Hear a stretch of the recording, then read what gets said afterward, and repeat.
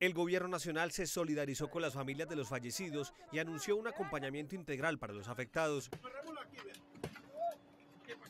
emergencia tan brava, Guillermo Ibargüen fue uno de los sobrevivientes y narró en medio del dolor por la muerte de sus seres queridos los angustiosos momentos que vivieron dentro del bus cuando fue sepultado.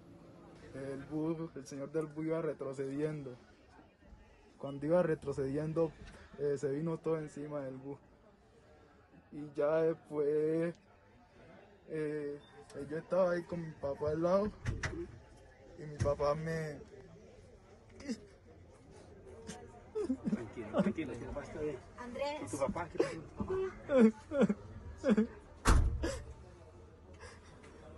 Eh, mi papá me, me, ayudó a salir del, de, del, ay, del bus por un huequito y me tuve que tirar al barranco. Y cuando me tiré ya se había tapado todo. Ay.